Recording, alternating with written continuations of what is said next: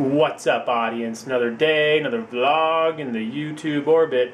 You're watching Rictor Vlogs. Thanks for being here. So, I had a question for you. Just like the title implies, what kind of door holder are you? And by door holder, I mean, are you the type that will check behind you before you walk into a public building? And depending on how close someone is behind you, will you hold the door? So if they're 5 feet, 10 feet, 15 feet, would you hold the door? If they're running to catch the door, would you hold it for them?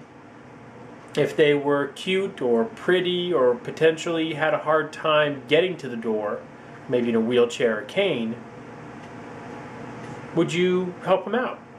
Hold the door longer? So I had three instances today where I had people that were maybe close to the door for me, were almost going to hold it open and didn't. And then where I saw a person walking briskly to the door, pushed it up purposely far enough so they could catch it, they slowed down and the door just slammed in their face. You know, someone's making an effort to get to a door and then they slow up just because they think I'm going to sit there and hold it for them. I mean, that's not very fair, you know, it's all or nothing, you know, in or out. So I want to know your thoughts on that. Please leave a comment or a video response uh, below and let me know what kind of door holder are you.